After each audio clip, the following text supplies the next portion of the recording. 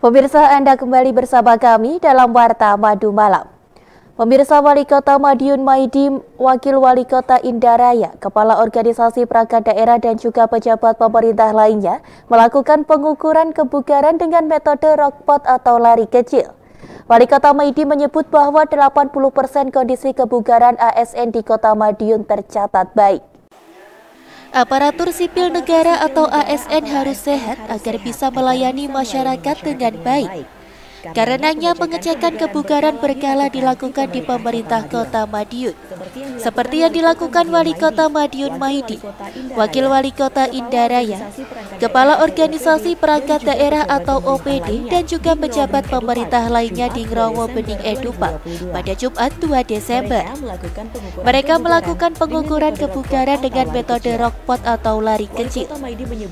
Wali Kota Mahidi menyebut 80% kondisi kebugaran ASN ASN tercatat baik. Sisanya masih kurang bugar, namun dalam kondisi sehat dan tetap bisa bekerja. Ya, mungkin uh, ASN yang kurang gemuk, nanti setiap pagi kosong harus di sini jalan. Makan sehat di sini banyak ikan. Jadi pola makan sehat dengan olahraga saya paksa. Jangan sampai ASN sakit itu repotkan orang banyak. Apalagi selonasi Metode rockpot merupakan metode pengukuran kebugaran jasmani dengan cara lari kecil sejauh 1,6 km. Kemudian dilakukan pengukuran volume oksigen saat latihan dan kapasitas maksimum atau VO2 max. Pengukuran menggunakan alat khusus. Semakin besar volume oksigen yang dikonsumsi, berarti kondisinya semakin bugar.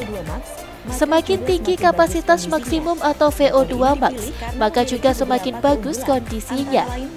Metode ini dipilih karena memiliki beberapa keunggulan, antara lain mudah dilakukan, tidak memerlukan alat khusus, aman bagi orang dengan resiko penyakit, dapat dilakukan secara individu maupun kelompok serta dilakukan sesuai dengan kemampuan.